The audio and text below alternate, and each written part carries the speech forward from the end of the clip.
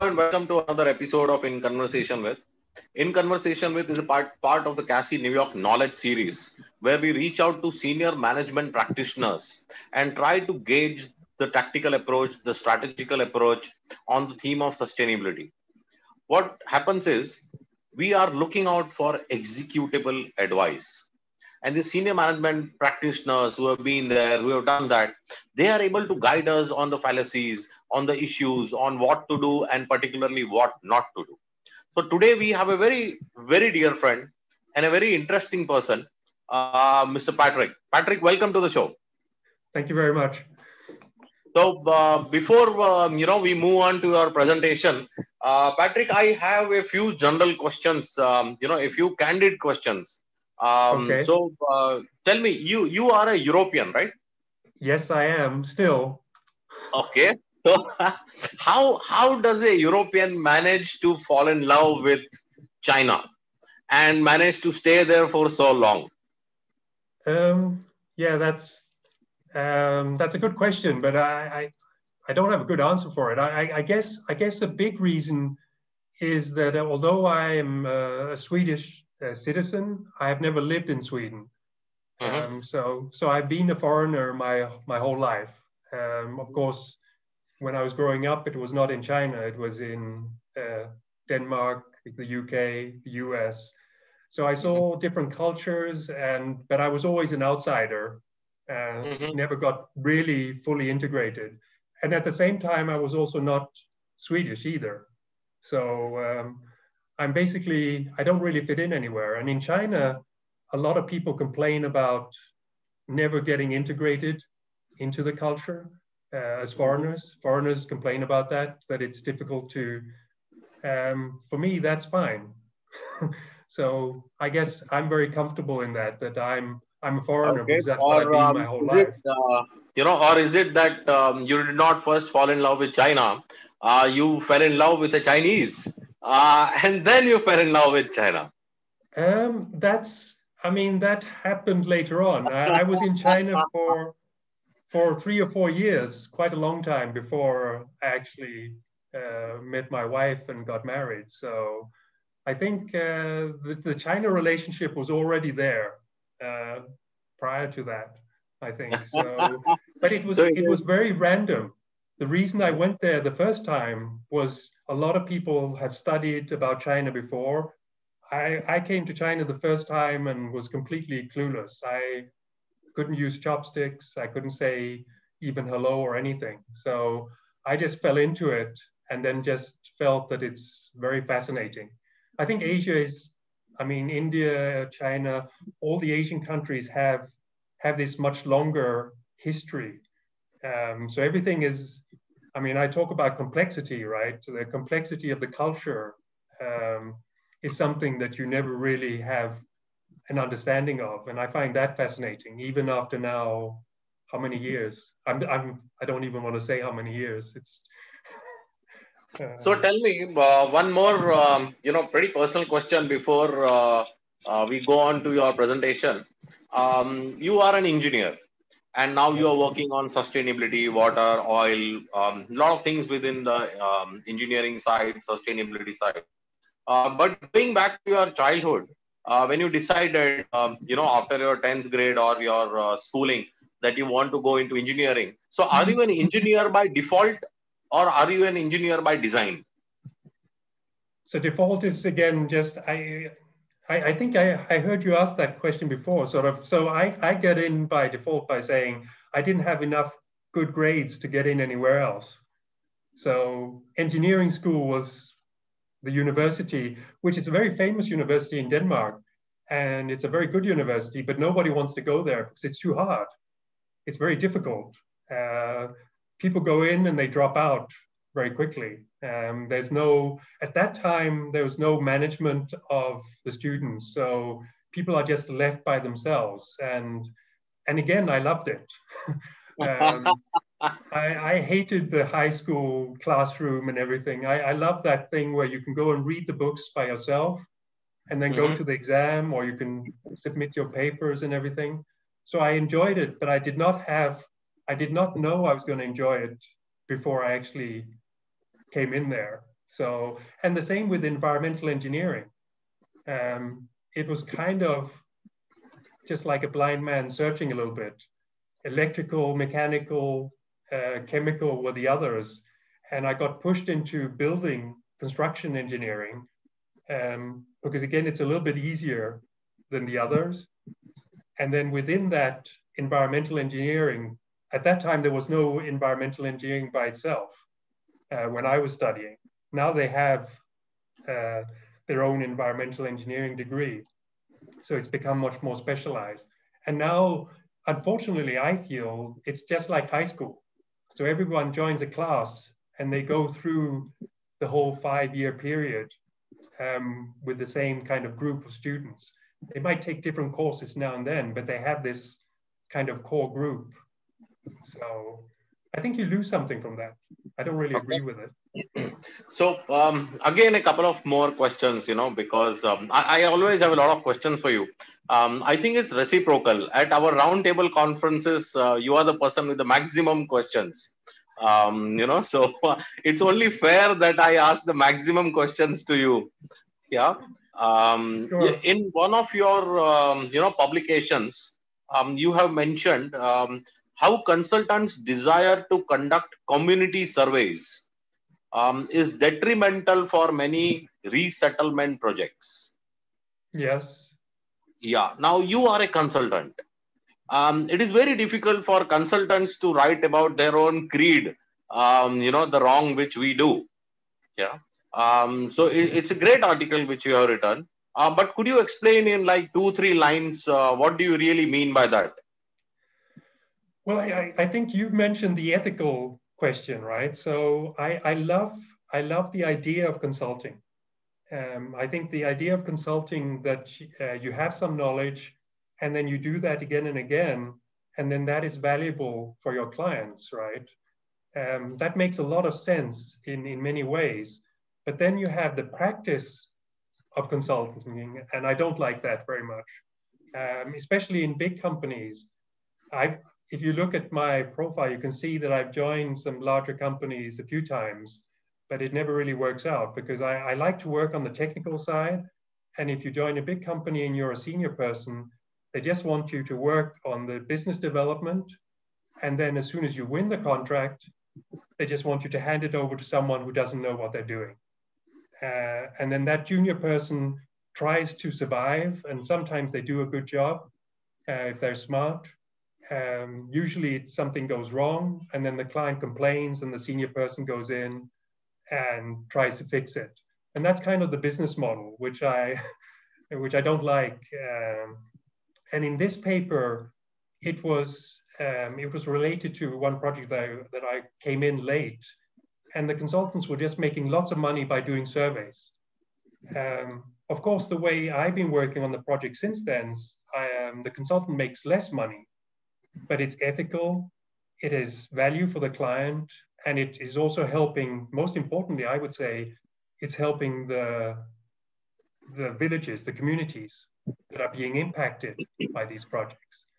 So I think that's, that's for me um, the big issue that uh, if you go in as a consultant and you just make money, but the client is not being protected, and more importantly, the really vulnerable communities are not being protected. I think that's um, that's really a bad thing, and I'd, I'd no, rather absolutely.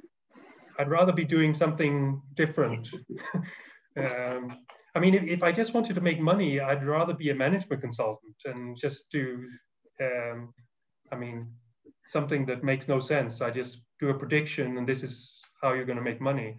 Um, but for social and environmental work, there are real problems there um, that need need fixing. So that's uh, and and I think I mean I I'm a big uh, Nassim Taleb fan, and he has a sentence: "If you see fraud and you don't shout fraud, then you yourself are a fraud." So that is a motto that I'm trying to live by. Um, that uh, yes, I want to I want to protect the clients, uh, and I also want to have a commercial of course, model for myself to make money, but uh, not at any price. Correct, correct. No, no, you are absolutely right. The ethical side of consulting is, uh, you know, disappears in many occasions, and uh, you you are right. The ethical side of consulting is very, very important. Um, it is much more important than making money because uh, finally, in uh, environment or climate, uh, it affects the communities that we serve. Um, there is a mega effect on the communities. So if uh, you know a one inch diversion in ethics uh, will create a 100 inch uh, diversion in the final result to the community. So uh, yes, you are absolutely right, sir, on that. Um, let's move to your presentation and then I will have a few more questions for you. Great. I mean, like, like I mentioned, if, if you have any questions when the slide is there, please, please feel free to jump in. You don't have to wait until the end. But sometimes if the slide is there, it can be easier to ask the question and discuss it. Right. So.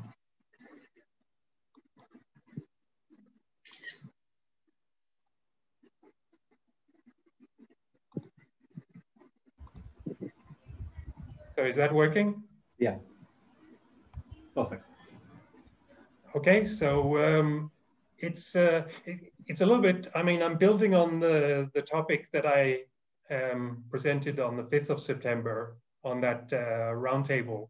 So I have some of the same slides, but I've added more, and because I we have a little bit more time, um, I'm maybe being going to be able to go into more detail to try and uh, explain um, the points that I have, the ideas that I have. And I, and I think I think the way that I'm looking at sustainability is that um, what I believe is the problem is not clearly enough to, uh, defined. So I think to solve the problem, we need to first to define the problem. And if we don't do that in an accurate way, then a lot of the solutions will just be building on something that is inaccurate. And I think that's a, that's definitely a problem. So, so here, yeah, I mean, this this is a slide that I use a lot, and um, actually, it used to be, I used to believe because in sort of a caveman world, um, the risks were much more simple. And what has happened is that when we now have financial uh, stock markets, we have industrial facilities, um, that are very complicated that we weren't really able to understand the risks of those differences. But now, um, as as you develop, you get new ideas all the time. Now, I, I think it's a little bit. I think um, what we've actually lost going from the caveman area, or the cave woman era, I should say, uh, at the same time, is we've lost our ability to look at complex systems because I think back then, living in nature you have to have a lot of knowledge, different plants, different animals, things that can kill you every day. And in the modern world, we don't have that. Um, we, we, a lot of things that can kill you every day is we're kind of protected from. So I, I, I think that, and that's something that I, I, sustainability, we need to have that ability to look at complex systems and natural complex systems, both to understand the problem, but also to develop the, the solution. So yeah, I mean, these, these are the topics that I presented before. So just going round, critical to solve, not tied. So that's something I want to talk about again and go a little bit deeper than I did one month ago. The expert problem. So this is kind of related to your question about being ethical or not. Um, I, I, think the expert problem is also not only just related to being unethical. Sometimes it's if you're very specialized and the problem is not related to your speciality, um, that also causes uh, issues.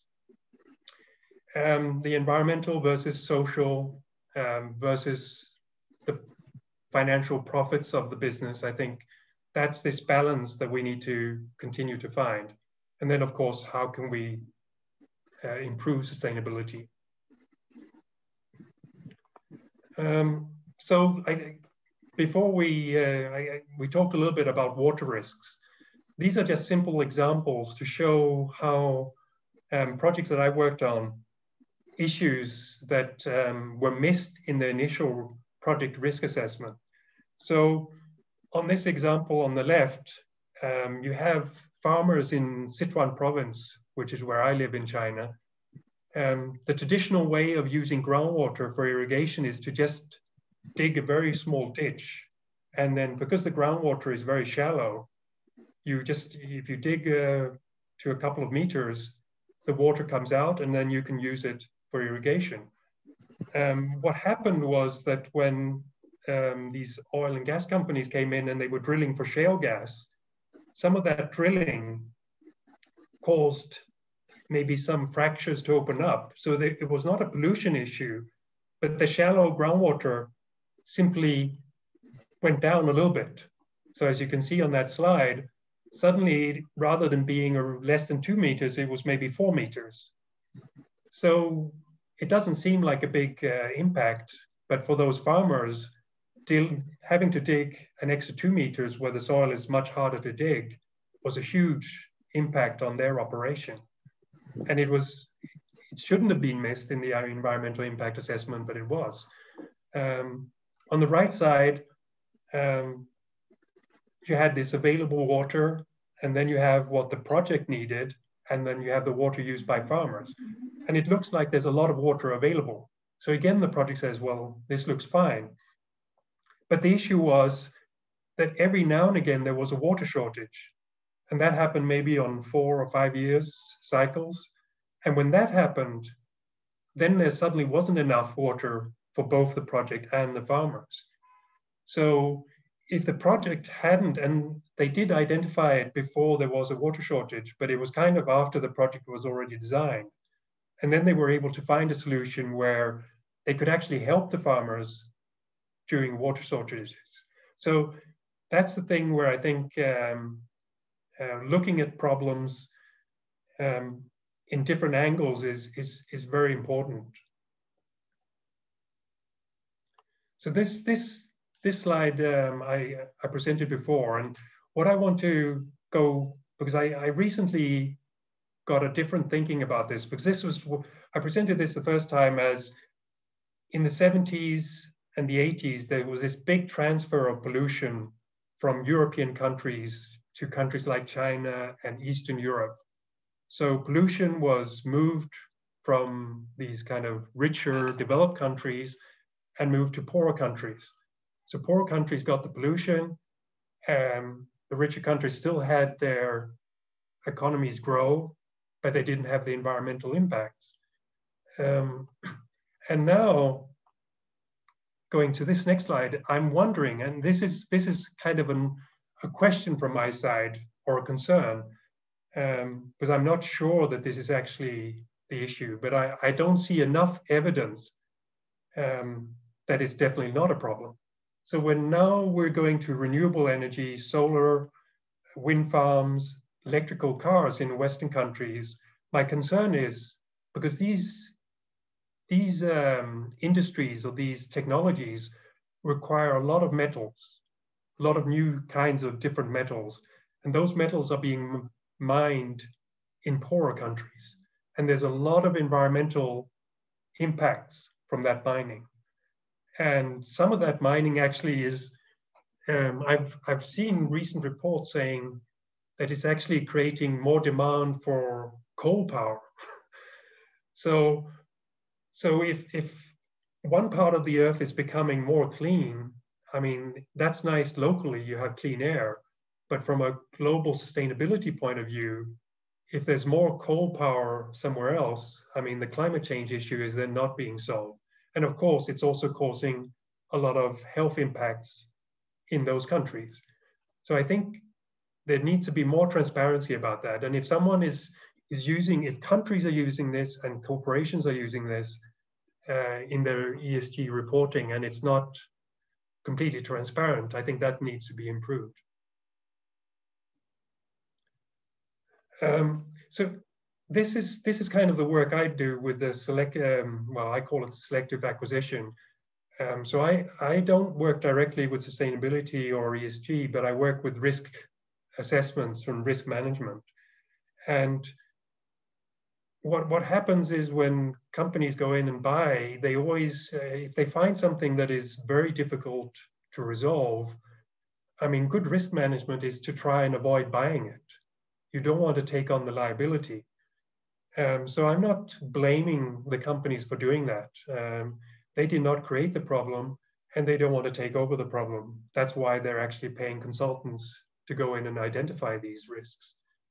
Um, and then what happens is it gets moved into the supply chain.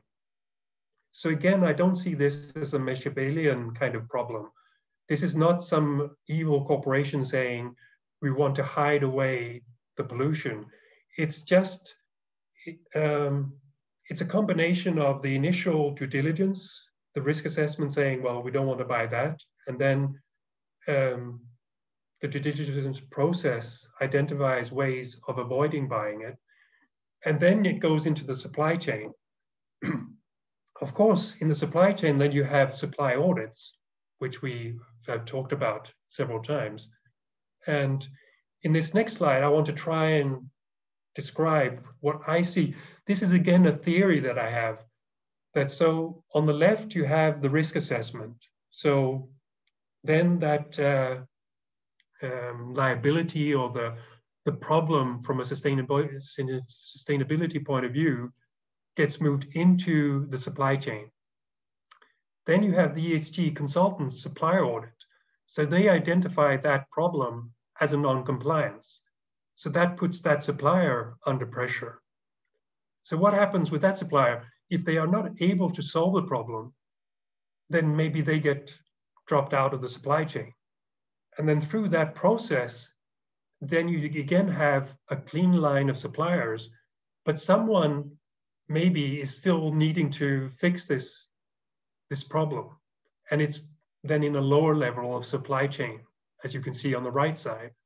So this, this is my fear is that the risk assessments and the supplier audits are kind of causing these problems to be more hidden rather than solved. And, and that's why I think it's important that the supply audit and also the ESG reporting maybe is done in a different way. Um, that is focuses more on where critical issues might exist rather than just focusing on the suppliers that are nearest to the facility, the manufacturing unit.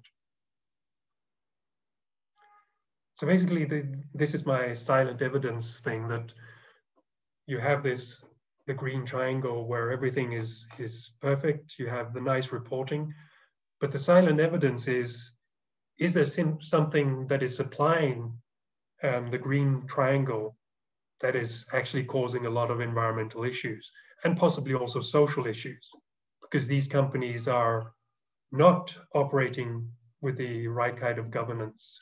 Um, so if, if, if, problems are just getting hidden in the top right, and then we have a bottom left that is looking very good, I think then maybe there are better ways to invest our time and money. So this, so this is this is kind of just to because Apple, I think Apple is a company that gets a lot of um, has a very good image from a sustainability point of view. So I, I found this on uh, what is this supplychaindigital.com. Um, so I'm happy to share that link. So this is actually looking at it from an investment point of view. And following Steve Jobs, they talk about how Tim Cook, the CEO, and his expertise as a supply chain specialist was able to, and I've underlined, squeeze its suppliers to ensure the quotes generated are grounded in the truth. So basically, what they're doing is um, basically ensuring the profit- profitability of Apple, but also ensuring the quality of what is being supplied. And that's what the article is focused on because that's what a lot of investors are concerned about. Um, but my, my concern a little bit with this is what are the risks associated with these suppliers being squeezed? Um, so this, this is another um, chart that I found on MarketWatch. So this, this shows um, the profitability or um, the stock price of Apple but then it sees uh, shows a lot of the suppliers are not growing in the same way. So, so my question is just is is this something that is fine? Maybe it's fine. Maybe there's nothing there. But I, I think this is a red flag. It's something that should be investigated because if the suppliers are struggling to make money um, and they're getting squeezed on profitability, and they, of course, they have to meet the quality requirements of Apple, is there a risk that something else has to get dropped? Is sustainability or maybe some of the social issues something that has to be squeezed in order to achieve the results. So I think this is, and looking at these charts is just to give maybe another way that ESG reporting can think about rather than just the simple um, supplier audits. So, so this is just some open questions where I don't have the answers at this time, but what are the goals of these supplier audits? Um, what do they achieve? And how can we improve the audit scope and process. So this is something I'm handing back to CASI that future roundtable conferences and other people that are wiser than me can think about and provide answers. So Patrik, I have a question here. Um, you know, you're talking about suppliers, we're talking about ESG, um, and we are talking about a, uh, trillion dollar company like Apple. Uh, you know so yeah. uh, but suppliers audit being done are you um, in some way suggesting that uh, the suppliers who are uh, medium or small scale enterprises usually uh, they should also be uh, mandatorily uh, filing esg reports is this what you are contemplating well i'm i mean i'm not saying it's a requirement for them but i from this this point of view i think it's if if Apple wants them to be sustainable, they have to be. It can't just be based on audits checking them. It has to be because they are profitable, right? So that they are also making enough margin to be sustainable, and and then no, I'm course, not talking about uh, Apple in general. You know, there is another company, one of my favorite companies. Uh, when I talk about sustainability, uh, H&M, the apparel company now, um, you know, in their sustainability report, they have claimed that they have 1600 odd manufacturing facilities and all the 1600 are um, ESG compliant. Uh, now, I find that a tad difficult to believe uh, because all their manufacturing facilities are in Philippines, Vietnam, China, Bangladesh. Um, you know, so to uh, comply with a simple thing like um, child labor, is also very difficult to do across 1600 locations in Vietnam, Philippines, and Bangladesh. So um, yes, you know, I, I, agree to you somewhat um, about uh, you know lowering the bar for ESG for uh, uh, small and medium enterprises. Uh, we should ideally lower the bar um, and uh, get them to enter into filing ESG or uh, you know SME ESG. So um, you know that that is the point that I was trying to um, support your description with. Because um, you know large companies are able to file an ESG report, uh, but somewhere there is a missing link. that that is exactly what you are showing that there is a missing link. So um, you know that that is also what I uh, ask in my lectures that there might be a missing link. Um, you know even in small things of compliance like child labor, particularly if you have manufacturing locations in Philippines and Bangladesh. I, I completely agree. And, and I, so I, I really like your um, lower bar ESG reporting for the suppliers to give them help from that way. But what I'm also trying to say is H&M and Apple, they should have some responsibility for this as well, because Apple says that they help their suppliers um, with their renewable energy and so on. So I, I, I, think that what I want to see is that the help is also related to, because if, if they're squeezing on one side and then they are helping on another side, they, they, there's some kind of a conflict there, uh, the left hand and right hand. And I don't know who is winning. Is there more squeeze and is there less help or uh, is the balance the right one? And is there any way that the big companies can show how they're doing that? Uh, I, I, think that's something that the big companies should be doing. In, so when you say bar for the small companies, I think that's good, but the higher bar for companies like H&M and Apple, I think they should have more scrutiny on, on what they're actually doing. Correct, correct, correct. So I thank you very much for the question. I think that's uh, that's an excellent addition to, and these things are something I'm I'm thinking about all the time. So um, it's good if we can work together to find solutions. Now, now this comes a little bit to to the expert problem. So uh, one month ago, I mentioned this the context issue, um, where I've I've seen this many times when you have people in Shanghai, Beijing, uh, Stockholm, Copenhagen, or wherever, and they are trying to understand, like you mentioned, Bangladesh, Philippines, China, people in those areas. Do do the experts really understand the challenges of the small business, the small business owner, the stress and the the challenges they are going through, and also the people working in those organizations.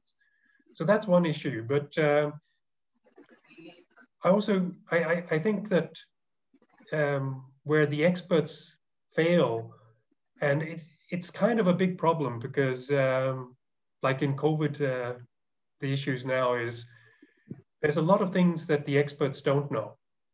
Um, but it sometimes it can be bad for your business to talk about the things you don't know. But I think to, to manage sustainability risks, we need to have that transparency about all the things we don't know as much as what uh, we do know. And this, this slide is just because you have experts talking about probability that if we do this, we will achieve so and so regarding to climate change and so on. But the reality is we don't know. And the invisible hand that I have here is not, it's not an Adam Smith kind of economic invisible hand. It's an invisible hand related to, we just don't know how uh, our pollution is interacting with the atmosphere, all the natural systems in forests and so on. It's just too complicated. So we need to be much more careful in how we're predicting and that careful needs to also uh, transfer back into we maybe need to do even more in less pollution and so on. And maybe not only just focus on CO2. I think that's one issue. We seem to always focus on, on one problem and then forget a lot of other problems. This, this, this is from the Black Swan. So I mentioned Nassim Taleb. Um, he's, uh, he's an author that has uh, driven a lot of the way that I think about risks and this is just to show um, the problems with models. So climate change, there's a lot of models. And this is a very simple system here. Um, but when you, if you consider that first bounce, if there's just a little bit of a difference, then when it hits the top wall, there's a larger difference. And then when it hits the back wall, the difference is already quite big. And this is a very simple model. And if you then consider um, modeling millions of factories, people driving around in cars, how is that impacting forests and atmosphere and so on? And then potentially melting uh, North Pole, South Pole ice. I think um, there's a lot of uncertainty there that I can understand that people don't want to talk about it because then they feel, oh, well, you don't even know if climate change is happening. Um, but I think that's that's a problem. But then if you just say you try to make it more confident than it is, maybe that opens you up for criticism.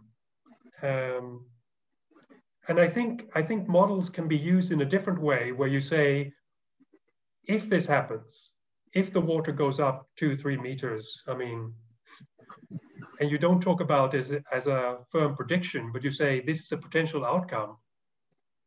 I think that's maybe a better way of communicating. Um, but uh, everyone needs to be educated on that. I think people also, people listening to experts prefer certainty and they don't like to listen to a lot of uncertainty. So I do understand that is a problem for experts, but I, I, it also causes a lot of problems. So again, what is the solution? So, so this is this is something again with um, my experience because I've worked on both environmental assessments and environmental impact assessments. So what I want to describe here is, is the difference between the two. so environmental impact assessments are always focused on um, projects that have not started yet. So basically it's in the design and planning on the left side of the slide. So basically this is showing that you have this very nice area that's undeveloped and someone wants to come in and, and do some kind of a project. Uh, if you do environmental assessments like I do, um, risk assessments, you usually actually go and look at factories that are already there. So you see a lot of risk, you see wastewater, you see air emissions, you see groundwater pollution and so on. And you even do divesting. So when someone wants to get out of a factory, they also want to say, well, I want a snapshot to show this is what the situation is when I leave. So no one can come and say some other pollution was caused by me. And what, what I want to say is that if you only work on environmental impact assessments, I think there's a risk that you don't understand a lot of the problems that happen later on in projects. So I, I think you need experts to do both things. Experts need to work and look at factories, they need to work at projects that have been in operation for 20, 30 years, and then go back and look at new projects. Because otherwise, there's a risk that you think that that report you wrote, because I, I mean, I, I can be honest and say, if I go back and look at a report I wrote 20 years ago and say, this is, there's so many gaps here. Um, so I think that's, what is the feedback loop for experts? That's basically my question. And if that feedback loop is not working effectively, um, you have the problem of uh, ethics, but you also have a feedback loop. And you need to be sure that the consultants are actually learning from their mistakes if they're making them. Does that make sense? Oh, yes, yes, absolutely. So, so here, here is the, the slide I presented before about the balance between environment. So I, I remember the first time uh, we talked, we mentioned this because you said the same issue is in India as in China, that if you close down all the factories with the problems, then you have a social problem because you don't have enough jobs. So it's very easy to have these modern facilities with not not, not a lot of people working there, with uh, diverse um, employees and so on. But then you don't have enough jobs for the big population.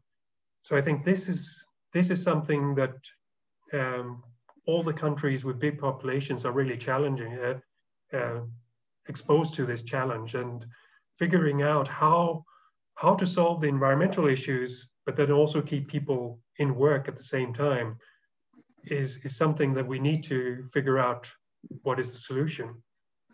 And and I think that's why coming back to your question about small small companies, because small companies generally employ more people. Um, so the suppliers will have more employees.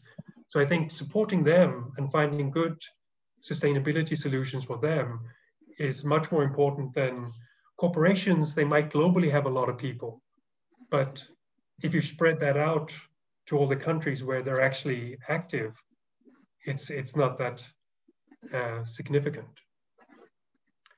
And this this brings me to the sustainability sustainable development goals. So this is something that um, when I did risk assessments, it was not something really that I was thinking about, but listening to the roundtable conferences, um, I've started thinking about these. And I, I want to say first, I think these are very good for countries. So I think they're a very good idea for a country to say, this is what we need to focus on, and we need to achieve these things. But where I have, where I'm more skeptical is if we take these 17 goals and then we give them to corporations and small businesses, I'm not sure this is the right model. And I'm kind of concerned that it causes more confusion. I mean, if we if we take this to like what we mentioned, a small business, I mean, they're going to be over, overwhelmed. Um, so, and of course, not all of these are relevant for them, but any company, I think, and if I go to this next slide, this is, uh, I was watching this on through LinkedIn. It was a UN web TV video. And what what is shown here on the left side is the connection of these 17 goals, and it just looks like complete chaos to me. um, but I actually like the right side, and I, I think this is what small businesses need. They need to they need the economy. I mean, they need to make a profit, of course, like you always say, uh, Paresh. Um, if you don't make money, then there's nothing, right? Um, if the company does not, if the company does not survive, sustainability has is, is also is also not going to survive. So you need that, and then you need the environment and the social side. And I think having those three and then finding a balance for a small business, within that there's complexity, right? And you can go in and say the social things, then you can mention some of the things that are included in the 17 sustainability development goals. But I think the presentation needs to be easier for them uh, rather than having these one. My next slide, I think, this is kind of scary, right? The 169 targets, 247 indicators. Um, the, your question about ethical consultants, right? I, have written here a paradise for charlatan experts and consultants. And that's where I feel consultants can use this to make a lot of money, but is it really providing value for the clients? And is it just creating very complicated reports? So that's not what I want. Um, so without logic, more data leads to more chaos. Um, so, and, and this is my kind of, everyone talks about big data in, in the modern world. My, my, my concern about we have more and more data, but is this data just focusing on certain areas and not covering other areas where a lot of the problems are? So yeah, I mean, and the consumers, of course, I think this is this is something that needs to also be handled. I, I don't I don't see this being done really in in a way that's transparent. Is I mean, how is the product? For example, I, I think a lot of people buy a product like an electric car, for example, and they if they make if that product makes them feel oh I'm so sustainable now because I have an electric car and I don't drive something horrible with petrol and so on and that means I can go on however many holidays and do whatever I want elsewhere, then I don't think it's working. So if, if, if one product is just giving consumers this green light to go off and be very unsustainable in other areas, um, then we're not achieving any kind of sustainability. So, so I think there's a lot more complexity there that I don't understand, but I I think more investigation definitely needs to be done. This, this, I, don't, I don't know what this slide is, but uh, I mean, just this is kind of just the missing the point. How's the president? He did some exercise and ate a salad. Sounds good. Oh, and someone might have put a cyanide pill in his salad. I mean, this this is just the way I feel a little bit about sustainability sometimes. We report all these things that are great, but if we're missing something that is like the cyanide pill in the salad, I think, and, and it's a little bit like people when they look at health, right? They focus on calories, cholesterol, um, some indicators, but I think the body is more complex than that. It's it's all related to how much exercise you do, the stress you have, the pollution you're exposed to, and so on. And you need to consider all of those things, um, how old you are and so on, uh, to figure out what is right for you and not have this kind of focus. Smartphones, I think smartphones are doing this to people, just focus on one or two indicators and then they think everything is bad or everything is good. And so this, this is also something um, kind of inspired by these CASI conferences that I've been listening to. And so um, asymmetry, skewness, I think is something that I like to think about in risk. I mean, you can take, you can do a lot of things and get small gains, but then if that small gain is then exposing us to bigger risks, And of course, my question here is, for example, electric cars. I mean, are, are electric cars potentially, oops, I don't have that slide now. Um, are electric cars potentially that kind of risk where we are getting small gains from the electric cars, but the metals that are being mined in a lot of developing countries are actually causing a bigger risk that sometime in the future causes a breakdown of the natural system. And I think that's something we need to be very careful about. I mean, basically, sustainability is this. Sustainability is this curve because we can keep on living the way we are, but at some stage it doesn't work anymore. And we don't know, the thing is, we don't really know when, when that day is. And that's kind of where we're playing with an unseen risk. Um, so, but this, this is of course just looking at the negative side. So to also be positive, and this comes back to your question earlier on, small companies. And I think if we can, um, you mentioned supporting on the ESG side, but also investing in a lot of small companies. So I see this in two, two areas. I think you have the small companies serving bigger companies. So they are doing traditional services, um, providing some little part that is needed for cars, needed for smartphones, needed for windmills and so on. Um, but if we give them support, they could maybe develop new innovation that makes their operation more sustainable. And at the same time, you have other companies that are just focusing on sustainability. So those are developing some kind of a new technology that can help all the other companies. So you have lots of opportunity, I think, on the small side. Uh, if we think about natural system, the way nature approaches a problem, nature doesn't have, okay, let's have 10 experts and then figure out how to grow this big forest. Nature just throws a lot of small things into the into the mix and then just sees what works. And I think that's what we can, that's what actually markets do when they're working well. When you have a lot of small companies, a lot of them are failing, but a lot of them are succeeding. And the ones that are successful give us a lot.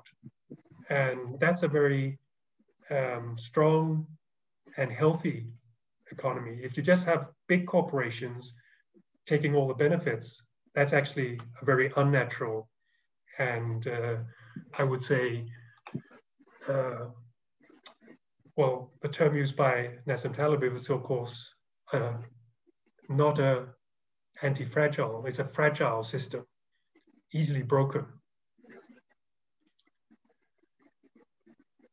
So yeah, that's basically uh, my presentation. So I've gone through critical to solve, not hide, the expert problem, the balances between all these environmental and social um, objectives. And of course, then understanding and using complexity, what I just mentioned there, to hopefully find um, sustainability solutions.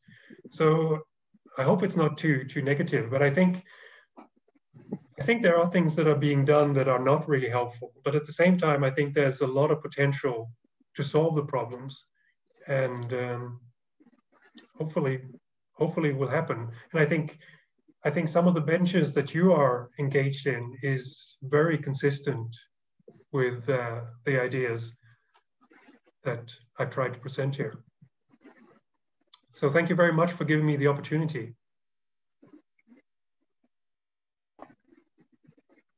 Thank you very much, Patrik, uh, for that excellent presentation. Um, and thank you very much for the praise um, you know, I'm very happy that uh, you like some of the efforts that we are doing.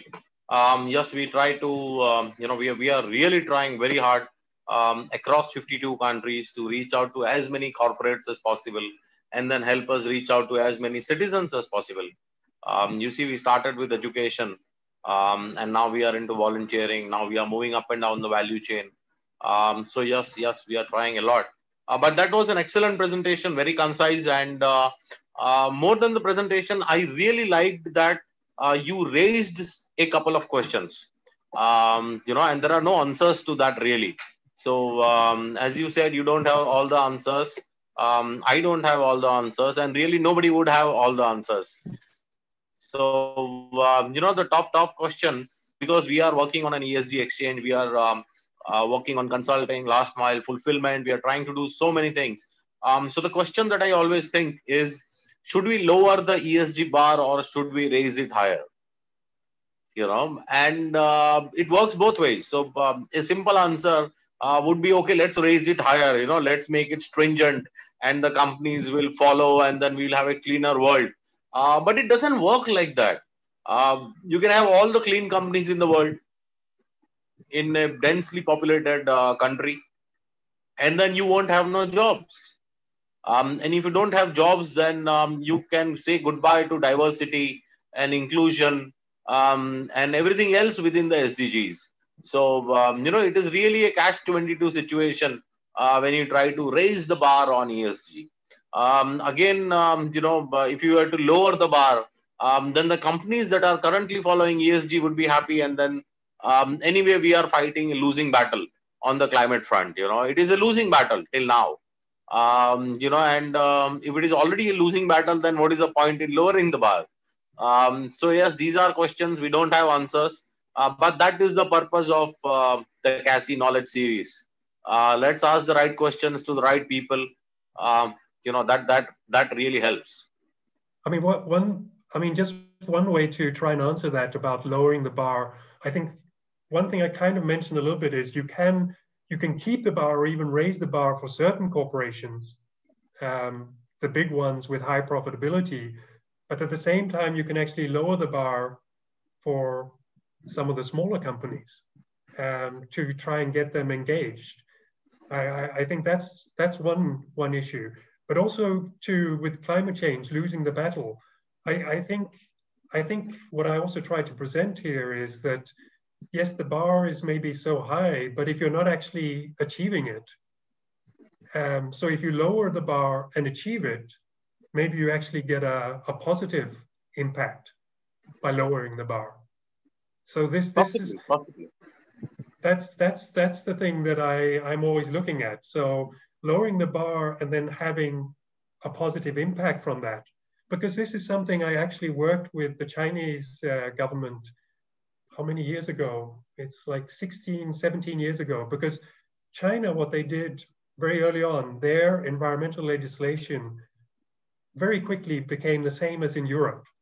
So they had the same requirements as in Europe, but their, their industry was at a completely different level. So you had this huge compliance gap.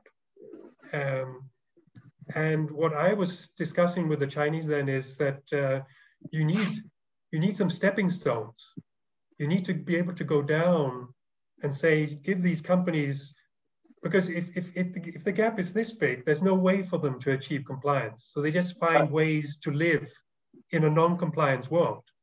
But if you give them something that's near to their current situation, then everyone wants to comply. You, I think you mentioned this. All companies want to uh, do a good thing or a better thing if they can. But if they can't, they have no choice. And no one is going to be a little bit more compliant if they can't be completely compliant. It makes no sense. Their risk is the risk is the same for them. They might get shut down tomorrow, right? So, so that's that's my my argument for in some situations why lowering the bar might not have a negative impact, could have positive impact. Correct. I couldn't agree more. I am absolutely in agreement with your um, argument. Um, you know, that brings us to the end of this seminar. Uh, but we should definitely continue um, this discussion on one of the roundtable conferences at CASI um, at a larger audience, so that um, you know, let's let's create some chaos um, at one of the roundtable conferences. Uh, that that would really be fun. Yeah. So one final question to you, Patrik, uh, before we sign off. Um, one of the um, you know articles that you have published, uh, which was very interesting, um, you know, I, and I found it quirky and funny. uh, survivors are killing safety. You know, so it is it is self-explanatory. Uh, but really, I found it pretty funny. You know, survivors are killing safety, and uh, you say that okay, our prayers saved us, so maybe we don't need an apparatus to survive. Um, just just in the next two three lines, uh, you know, tell me what are your thoughts on this? Well, well, it's it's it's basically, I mean, uh, because I was uh, early in my career, I was a safety consultant, right, and uh, you would go go there and try to do safety training, um, and you would always have this guy who had been doing the wrong things for 20 years, and nothing had happened to him, right? So and and and that's the probability that's the problem with safety is that even if you do all the bad things it's not a certainty that you get injured or killed. The risk is just higher right? So the thing that i was trying to explain with this uh, this article was that if you have all these companies doing bad things you will have some of them who get through a five year period without anything bad happening. And they will believe that there is no risk because the longer time goes, they they believe that there is no risk, right? That's the way. So it proves uh, it proves their theory, you know, that they were right all along, in spite of being wrong, because precedence uh, becomes a rule. The rule is not the rule, but the precedence becomes the rule. And so, if they've been doing wrong um, and getting away with it, uh, then that becomes the rule. Exactly, exactly. And and the companies that do have accidents, they are not included in that data, right? So, so that's that's the problem. It's, it's a little bit related to the concept I presented here today about silent evidence, right? So you always have to think about when when a company says that they've had no accidents for five years, you have to think about if you had a hundred of those factories doing exactly the same thing as this one, would they all 100 have no accidents? And if the question is definitely no, then you know that they are not doing the right thing. So you, that's that's that where this very difficult uh, mental concept to look at the numbers, um, to, to see you know you can't just look at one factory by itself. It might be a good factory, it might be doing safety the right way, but it uh, might also just be a very lucky company. Correct, correct. No, that that was some excellent advice, and that was an amazing pre presentation, Patrik. Uh, thank you very much for joining us today. Uh, as always, it was an absolute pleasure talking to you. Thank you very much, Patrik. Likewise, likewise. Thank you very much. Look forward to the next one. Ah, yes, absolutely. Absolutely. Mitesh.